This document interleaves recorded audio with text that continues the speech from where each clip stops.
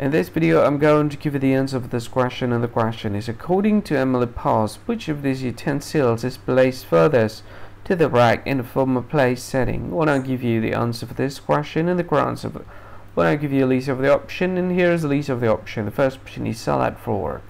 Second option is butter knife. The third option is soup spoon and the very last option is dinner knife. And the correct answer for the question is soup spoon. What is the answer for the question? Hi, thank you so much for watching this video.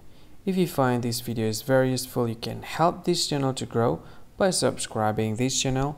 Please this subscribe button and don't forget to like this video.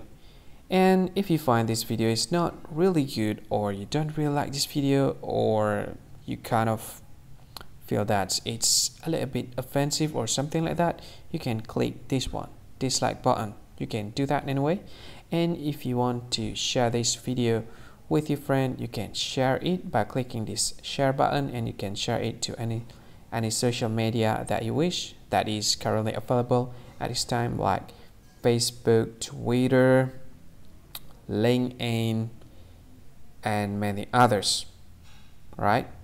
And if you want to add this video to your playlist you can click this one. You can watch this video later and you can find more options by clicking these three dots.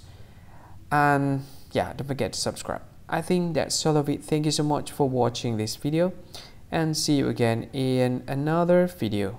Bye bye see you again